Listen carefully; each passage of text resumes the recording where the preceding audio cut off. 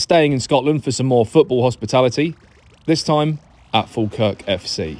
Arrived early and watched the Falkirk Foundation team, which ended 4 1, then into the stadium at 12. All checked in, it was then time for a guided pre match tour and a history lesson.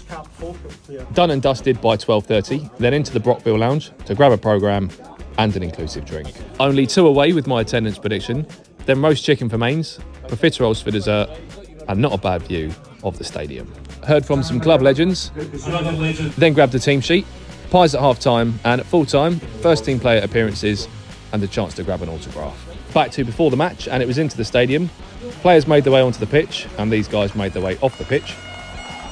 Shout out to the Falkirk fan for the scarf. I brought the padded seat, and in the end, it seemed fair to do a swap. Hospitality tickets with inclusive drinks are £90 per person. Where should we go for the next padded seat?